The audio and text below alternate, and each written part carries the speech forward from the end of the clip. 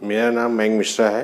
मेरा चयन हाल ही में आए समीक्षा अधिकारी दो सत्रह के परिणाम में समीक्षा अधिकारी पद पर हुआ है।